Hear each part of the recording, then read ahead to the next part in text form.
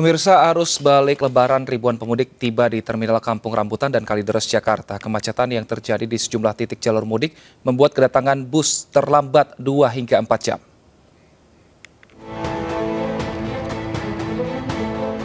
Bis antar kota antar provinsi yang membawa pemudik kembali ke Jakarta tiba di Terminal Kampung Rambutan, Jakarta Timur, Sabtu pagi. Para pemudik memilih kembali ke Jakarta lebih awal agar bisa beristirahat sebelum kembali bekerja hari Senin lusa. Dalam dua hari terakhir, sekitar 5.000 lebih pemudik tiba di Terminal Kampung Rambutan. Kemacetan yang terjadi di sejumlah titik jalur mudik membuat kedatangan bis terlambat 2 hingga 4 jam. Meski lelah setelah menempuh perjalanan jauh, para pemudik merasa lega bisa mengunjungi kerabat di kampung halaman. Apalagi setelah dua tahun tidak bisa mudik karena pandemi COVID-19.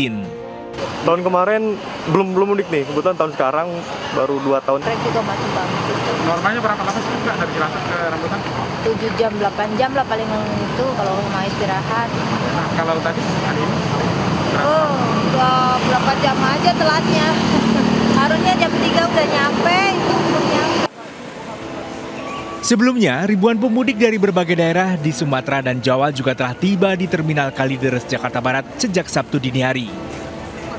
Selain di ruas tol Cikampek, kemacetan juga dialami para pemudik di Pelabuhan Merak.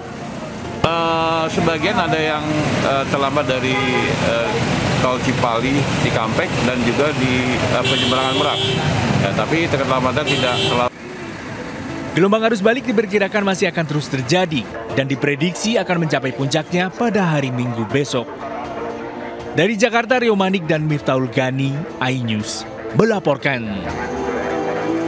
Arus balik lebaran mulai memasuki puncaknya. Di stasiun Pasar Senen dijadwalkan sekitar 15.000 penumpang tiba di ibu kota melalui stasiun Pasar Senen. Hari ini dan besok diprediksi menjadi puncak arus balik bagi pemudik yang menggunakan kereta api. Sebanyak 15.600 penumpang dijadwalkan tiba hari ini di stasiun Senen dari berbagai wilayah di Jawa Barat, Jawa Timur, dan juga Jawa Tengah. KAI memastikan setiap penumpang yang tiba sudah memenuhi persyaratan perjalanan karena sudah melalui pengecekan di awal keberangkatan sehingga tidak perlu diperiksa kembali.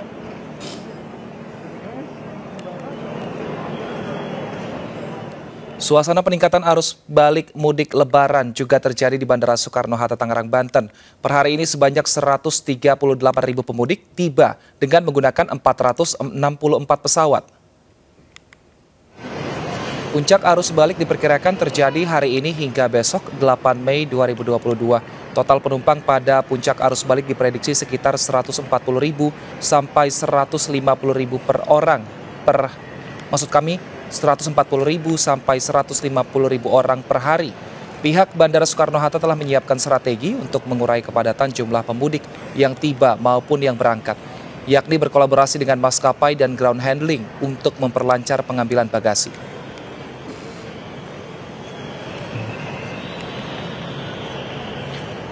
Kita pantau langsung kondisi arus balik mudik di Stasiun Pasar Senen dan Bandara Soekarno-Hatta Tangerang, Banten. Sudah ada Nastasya Frina di Stasiun Pasar Senen dan juga Lisa Oktaviani di Bandara Soekarno-Hatta Tangerang, Banten. Kita ke Nasta terlebih dahulu.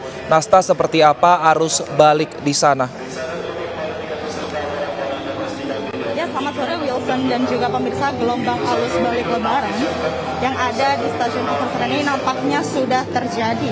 Per hari ini yaitu 7 Mei 2022 sudah ada sebanyak 15.600 penumpang yang akan terjadwalkan tiba di ibu kota.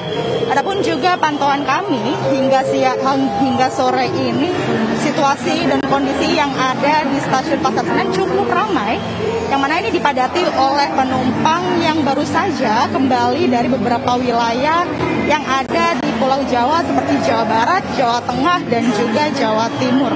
Pihak PT KAI Daup 1 Jakarta pun juga menyebutkan untuk arus balik sendiri ini memang uh, tidak semua penumpangnya itu turun di stasiun Pasar Senen Jakarta, melainkan juga ada beberapa penumpang memilih ini untuk turun di beberapa stasiun Daup 1 Jakarta seperti stasiun Gambir, Jatinegara, dan juga beberapa stasiun lainnya.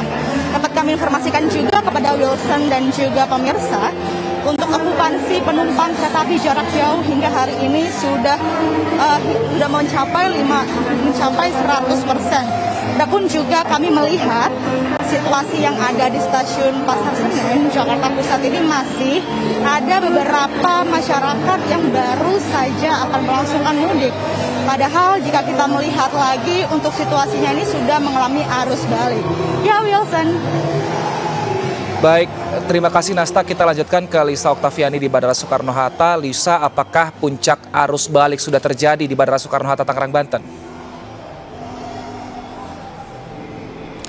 Selamat sore Wilson dan juga pemirsa. Benar sekali di penghujung akhir libur Lebaran mau atau arus mudik Lebaran eh, tahun 2022 ini di Terminal 3 di tempat saya melaporkan saat ini eh, dari pagi hingga menjelang sore hari ini puncak eh, puncak eh, penumpang yang tiba di Bandara Soekarno Hatta masih terpantau ramai dan ini diperkuat dari data yang kami terima di tercatat di tanggal 7 Mei 2022 yang di mana untuk penumpang yang berangkat dan tiba untuk total keseluruhannya berjumlah 137.734 dengan rincian yang berangkat dari Bandara Soekarno-Hatta sebanyak 57.971 dan yang tiba eh, dan yang untuk tiba di Bandara Soekarno-Hatta sebanyak 79.763. Itu artinya penumpang yang tiba di Bandara Soekarno-Hatta lebih banyak dibandingkan penumpang yang berangkat dari Bandara Soekarno-Hatta ke tujuan masing-masing. Dan untuk data penerbangan kami juga menerima dari pihak Angkasa Pura II yaitu untuk hari ini tercatat sebanyak 932 penerbangan. Dan yang di Terminal 3 di tempat saya melaporkan saat ini untuk keberangkatan sendiri tercatat 468 penerbangan dan untuk yang tiba sebanyak 464 penerbangan dengan total semua penumpang yaitu 48.834. Untuk puncak arus mudik sendiri diperkirakan dimulai dari hari ini tanggal 7 Mei 2022 hingga esok hari tanggal 8 Mei 2022. Untuk itu pihak Angkasa Pura juga telah berkoordinasi dengan sejumlah aparat kepolisian uh, security bandara dan juga pihak maskapai agar mudik uh, agar arus mudik balik berjalan dengan lancar. Kembali ke studio Wilson. Baik, terima kasih Lisa Oktaviani dari Bandara Soekarno-Hatta. Sebelumnya ada Nastasia Frina di Stasiun Pasar Senen. Selamat bertugas kembali teman-teman. Ya pemirsa, sementara itu puncak arus balik di Bandara Juanda Sidoarjo Jawa Timur mulai terjadi hari ini. Tiket pesawat ke sejumlah kota di tanah air pun ludes terjual. Terminal keberangkatan domestik di Bandara Juanda Sidoarjo ramai. Puluhan ribu penumpang terbang melalui bandara ini ke sejumlah daerah di tanah air. Akibat tingginya jumlah penumpang, pemirsa sejumlah pemudik tidur di lantai sambil menunggu jam keberangkatan. Kondisi ruang tunggu pun penuh. Untuk menghindari penumpukan calon penumpang, petugas hanya mengizinkan calon penumpang yang akan terbang dalam dua jam ke depan masuk ke ruang check-in. Sementara itu, tiket pesawat ke sejumlah tujuan ludes terjual. Seluruh maskapai penerbangan menaikkan harga tiket pesawat hingga dua kali lipat. Mau balik ke mana nih Bu? Pontianak. Ke? Pontianak. Ke Pontianak Bu ya. Gimana Bu harga tiketnya Bu? Mahal nggak? Mahal. Mahal banget ya. Biasanya berapa? Biasanya paling cuma satu juta ya. Sekarang? Tiga.